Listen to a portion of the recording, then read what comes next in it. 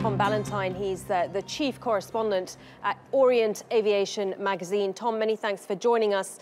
I suppose the first question uh, that's going to be asked is a security one. How was this allowed to happen? Well, absolutely, and it's not that long ago that uh, someone managed to get a bomb on board a Russian aircraft, uh, killing all on board uh, in Egypt. Now, uh, a lot of questions that were raised at that time over security um, at Egyptian airports. The Egyptians said that they were beefing up security, uh, but there'll be a, a, big investigation into how this managed to happen, how someone got on board an aircraft with a, a belt that they claim has explosives. Of course, we don't know at the moment whether that is true or not, uh, but still, security should have picked that up. So many serious questions asked about security at Alexandria and other Egyptian airports. Now, the fact that uh, this hijacker has uh, released most of the passengers, uh, there are still some foreign nationals on board in, as well as the crew. I mean, what do we read into that? Is that a good thing? Well, it's it's it's difficult. Um, it's it's a bad thing for the passengers who are still on board. Of course, we don't know where they come from at the moment. Are they European? Are they Americans? Uh, the first thought with something like this was it was it a terrorist uh, uh, event, uh, an ISIS event, uh, which would explain them, you know, keeping uh, the the foreigners on board. but now there are suggestions this is actually some sort of a domestic issue that this chap is is is complaining about or is taking action about. So there are many questions here that we just simply at the moment don't know the answers to. In terms of how the crew uh, are equipped to deal with an event like this, do they get any specific training? Is, is there an actual procedure in place? Oh yes, absolutely. Um, uh, air crew, both the uh, pilots, uh, the cockpit crew, and the uh, cabin crew uh, go through specific training to deal with situations such as this. Um, for instance, uh, you know, a pilot would probably have the cockpit door locked or should have the cockpit door locked, but the um, uh, flight attendants would have had to phone him to tell him that they had this man uh, on board the aircraft, um, and they would have a code word or some sort of a code, innocent type code phrase that they would use, which would tell the pilot right away that there was an issue, and he wouldn't be taking any chances. He would obviously open the door and do what this person wanted uh, uh, because they would have to assume uh, that uh, this person did in fact have explosives. The pilot would also be able to uh, tell the ground that there's an event on board the aircraft, would be able to inform air traffic control by once again using a certain phrase um, in his calls to air traffic control.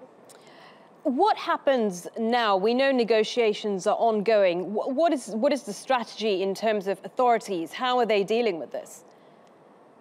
Well, the, the authorities, they will have expert negotiators um, at the airport. They will talk to this person. They will want to know what the problem is. Does he have any demands? Uh, why is he gone to Cyprus? Uh, what does he want? And then they'll have to look at how they can talk him down, how they can perhaps uh, give him some of what he wants, get him to release the other passengers. It'll be a, it could be a long, slow negotiation, depending on what the whole issue is in the first place.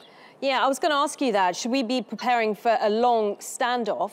Uh, I mean, it, it's interesting. I mean, I, I, I don't want to say that we're getting a feeling now that this could be a personal uh, issue in terms of the hijacker's agenda. I'm not sure there ever is a, a good situation in terms of a hijacking, but could this be uh, a positive uh, news for the passengers that it might not be a terrorist act? Well, yes, in, in, in fact, it could be. I mean, I I heard that suggestion that he had an estranged wife who was in Cyprus. Well, I'm pretty sure that if that is the, if that that is actually the case, the authorities will be getting a hold of that estranged wife uh, and getting her to the airport to help in the negotiations. Um, and that's one thing that may help them talk this person down and get them off the aircraft safely. Uh, now, it's not been confirmed, but we, uh, according to the pilot, uh, he was wearing some sort of suicide uh, belt. How difficult is it to get this sort of equipment uh, onto the aircraft in the first place?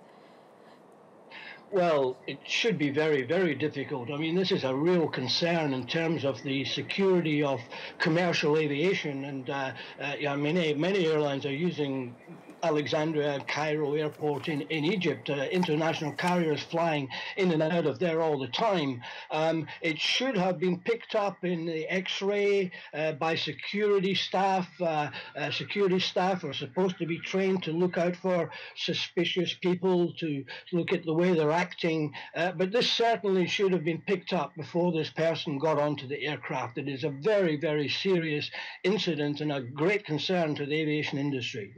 Uh, let, us go back again and, and discuss uh, the Egyptian airport security uh, situation.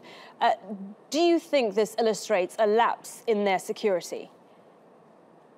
Oh yes, absolutely. There's no doubt, no doubt about that. Uh, uh, once this is all over, whatever the outcome is, there will be some sort of serious investigation, um, not only by the Egyptian authorities, but international bodies such as the International Air Transport Association, the International Civil Aviation Organization, uh, will want to be going to Egypt um, to look at the security measures and carry out an audit of the security systems um, uh, and, and see that things are corrected. Uh, okay, many thanks for uh, speaking to us.